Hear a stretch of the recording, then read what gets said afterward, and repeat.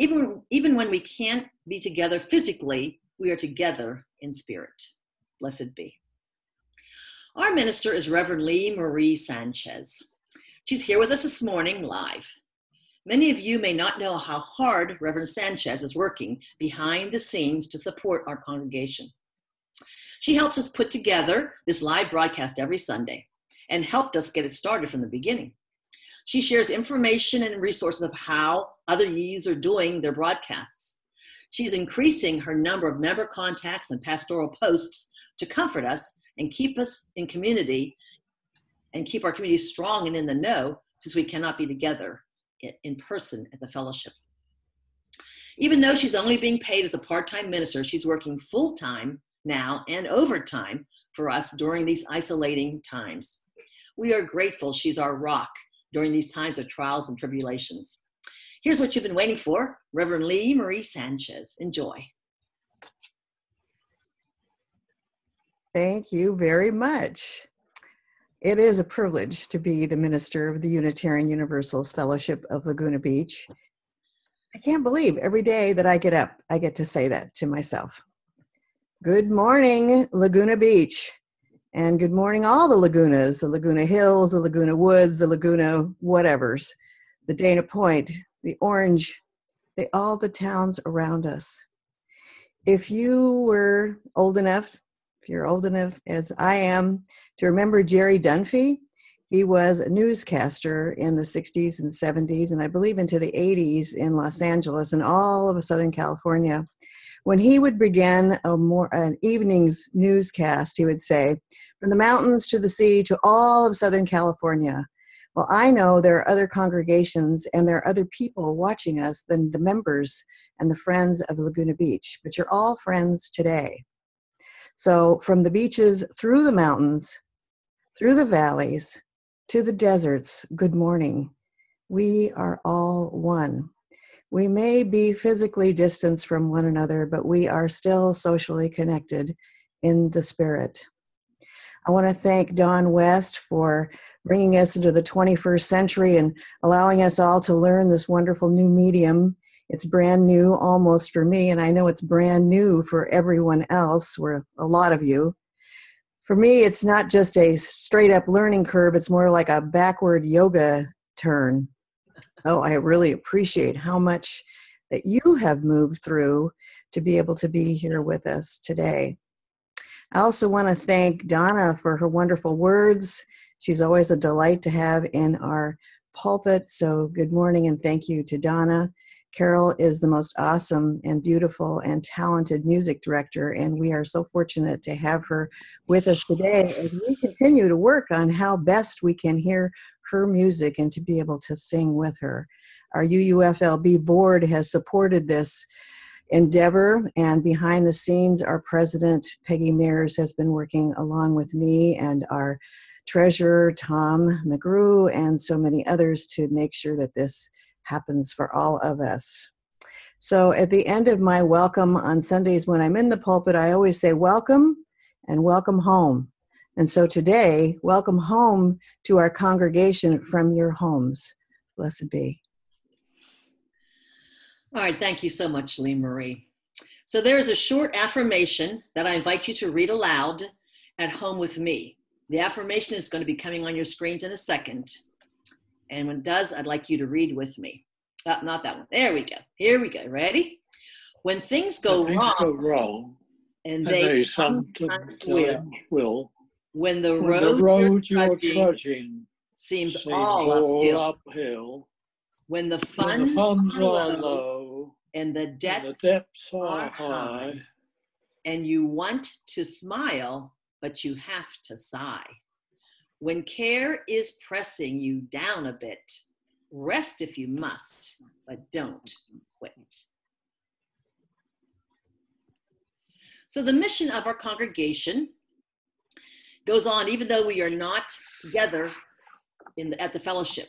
The costs that go with that mission continue, even though we've lost a substantial part of our income because we don't have the usual contribution of those who have, have contributed into our offertory basket on Sunday mornings.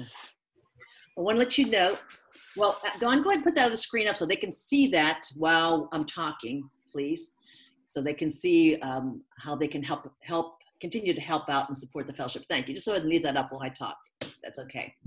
So um, while you're looking at that and, and, um, and contemplating how you can uh, participate in, in, helping the UUFLB, I want to let you know that I've decided to donate the $1,200 that I received from the federal government, whenever that happens, to our fellowship, UUFLB. Oh. I'm fortunate in my retirement that I don't really need the money.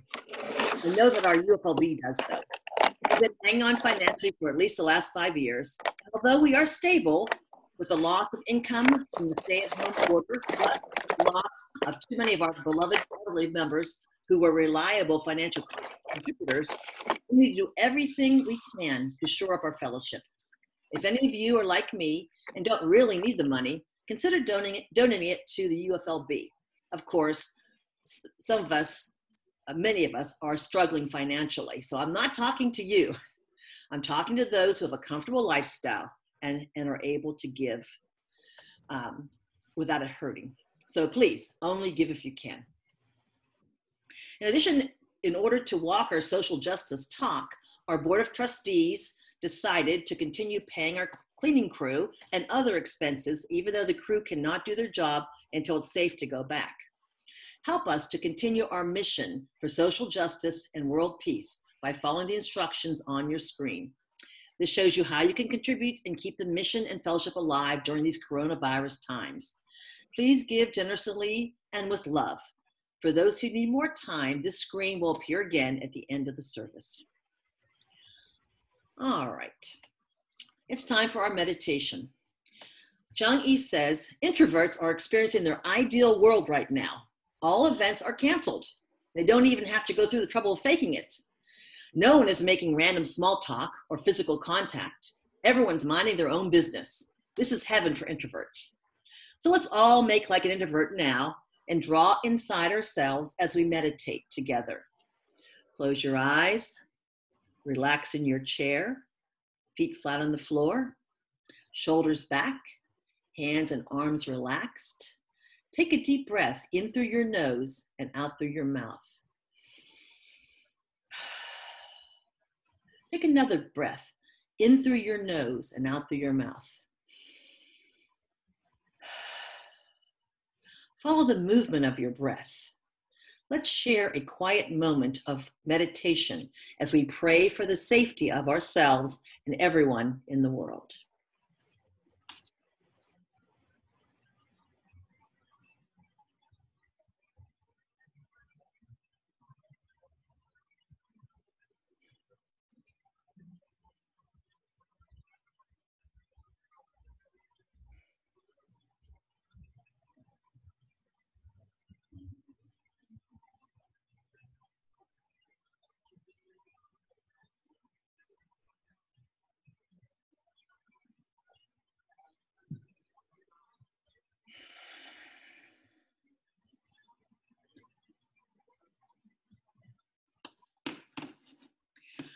Our unison reading today is the lyrics of a song entitled O Star of Truth, which is number 293. The words are on your screen, and let's read it together. O Star of Truth, down shining through clouds of doubt and fear, I ask beneath thy guidance, my pathway may appear. However long the journey, however hard it be, though I be lone and weary, lead on, I follow thee. We are on a very unusual and difficult pathway right now. May we soon be back together, joyful in our supportive community, and wiser for learning what is really essential in life.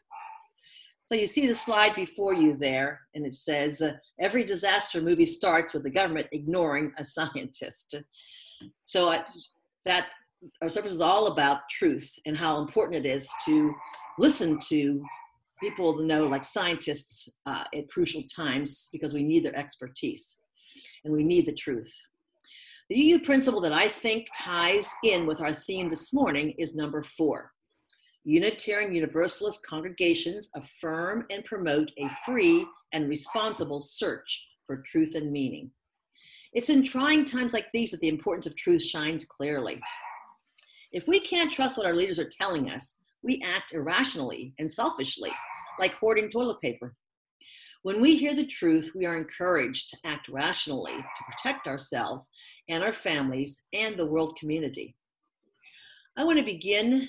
Oh, so, talking about that screen about every disaster movie starts with the government ignoring us scientists, this whole pandemic started in exactly that way in China. A doctor tried to tell the government about the, the appro- approaching pandemic, and the officials silenced him. He later died of coronavirus. The highest leader of our land in January and February said there was no pandemic, everything was under control, and it was fake news. Now we see many people in America sick and dying because we wouldn't listen to the scientists. And he's talking about releasing the stay at home directives and getting back to normal by Easter. But the scientists are all saying it will get worse before it gets better. They think many more people will get sick and possibly die, unfortunately, over the next few weeks. We need our national leaders to tell us the truth and protect us. From ancient time to the present, people have had a lot to say about the truth. Aristotle said, for though we love the truth and our friends, piety requires us to honor the truth first. Plato said, There's nothing so delightful as the hearing and the speaking of the truth. For this reason, there's no conversation more agreeable as that the person of integrity who hears without, without any intention to betray and speaks without any intention to deceive. Too many people in national leadership would be wise to listen to Aristotle and Plato and follow their advice. Many of us watch the news and we hear scientists like Dr. Anthony Fauci speaking. When he comes to the microphone I breathe Okay, I was hearing some Uh, odd sounds, but it's, it's, back to normal again. Okay, so anyway, let's talk about Dr. Anthony Fauci. Because when he comes to the microphone during the White House briefings, I breathe a sigh of relief. He has a wonderful track record of letting us know exactly the situation and what we can do to protect ourselves and others. He tells the truth, the whole truth, and nothing but the truth. He doesn't sugarcoat anything, but leaves you feeling that someone has just, leveled with you at a stressful time. He also leaves you with a feeling of hope as he outlines what all of us can do to improve the situation. In other words, he does exactly what all of us want our leaders to do tell it straight and give us an action plan so we can make things better. Dr. Fauci is an immunologist who has served as the director of the National Institute of Allergy and Infectious Diseases, the NIAID, since 1984. Since January of 2020, he's been one of the lead members of the White House Coronavirus Task Force, addressing the pandemic here in the United States and globally. As a physician with the National Institutes of Health, the NIH, he has served public health for the past 50 years. He's made contributions to the HIV AIDS research and other autoimmune deficiencies, both as a scientist and as the head of the NIAID at the NIH. The New York Times calls Fauci the nation's leading expert on infectious diseases. In short, Dr. Fauci is a hero, the same kind of hero as Harriet Tubman or Sully Sullenberger or John Glenn. Leaders who face down enormous odds, speak truth to power, and fearlessly put themselves in, in harm's way to protect others. So we owe a debt of gratitude to Dr. Fauci for his amazing, tireless work on our behalf. God bless Dr. Fauci, and God bless and protect the United States of America. So now it is time for us to extinguish our chalice. But first, I have a few shout outs. The president of our board of trustees, Peggy Mears, is working ceaselessly to connect us by email. She helps start these live services and contributes each time to them in an essential way. There, those are only a few of the many tasks she's doing for us. We're grateful for her many efforts to keep us connected and functioning. I also want to give a shout out to Don West Jr. He's our chalice lighter today. But what everyone really needs to know is that Don is the most instrumental person working behind the scenes at the UUFLB to do many tasks that help us and to bring us these live broadcasts. We literally could not do be with you this morning and do these live broadcasts without Don's help. He exemplifies the motto, help others first. Don, would you please extinguish the chalice? And those of you at home, extinguish your chalice too if you choose. We extinguish this flame, knowing that its light remains in the warmth and compassion of our hearts until we are together again. The closing message comes to us from Father Michael Graham, president of Xavier University. We're going to put the uh, screen on so you can read it with me if you like. May we, who are merely inconvenienced, remember those whose lives are at stake. May we, who have no risk factors, remember those most vulnerable. May we, who have the luxury of working from home, remember those who must choose between preserving their health and making their rent. May we, who have the flexibility to care for our children when their schools close, remember those that have no options. May we, who have to cancel our trips, remember those who have no safe place to go. May we, who are losing our margin money in the tumult of the economic market, remember those who have no margin at all. May we who settle in for quarantine at home remember those who have no home. As fear grips our country, let us choose love. And during this time, when we may not be able to physically wrap our arms around each other, let us find yet let us yet find ways to be the loving embrace of God to our neighbors and to the world. Blessed be. Let's sing together aloud from home our closing song, Let There Be Peace on Earth, with the help of Carole Cole. The words are on your screen. Thank you, everyone, for joining us today. Let there be peace on earth, and let it begin with me. Let there be peace on earth the peace that was meant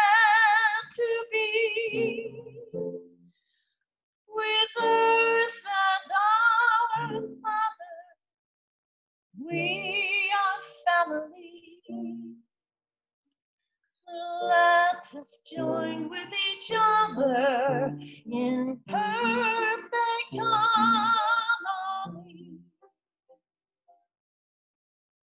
Let peace begin with me. Let this